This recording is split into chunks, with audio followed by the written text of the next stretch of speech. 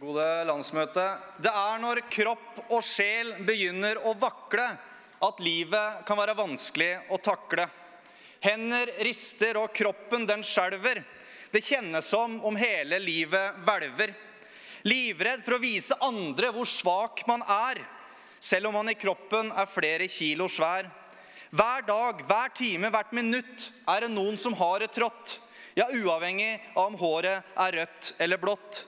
Vi snakka ikke nok om de vanskelige tinga.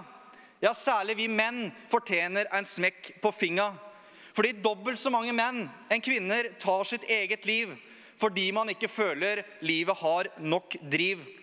For mange menn så er det tabu å snakke om det som er tøft. Klarer ikke gi livet et løft. For særlig unge menn bruker ikke ordinært helsetilbud.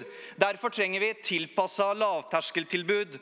Chattetjenester må møte ungdom der de er, både day and night. Kanskje til og med inne på Fortnite. Så kjære alle barske gutter og menn, strekk ut ei hånd og si ifra når du trenger en venn.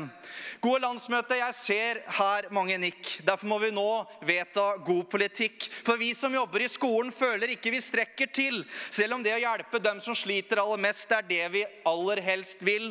Mer kunnskap og mer kompetanse. Da blir vi så glade at vi kan danse.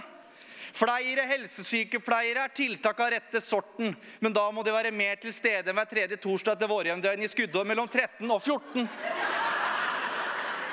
Karsten Isaksen han sa at dårlig ånde er bedre enn ingen. Så kjære ungdom, det å gi fanden litt mer fingen, det er det som er tingen. Vi må tenke at vi alle sammen er bra nok, og at vi alle er del av samme flokk. For uansett om man heter Per eller Else, så har vi alle en psykisk helse.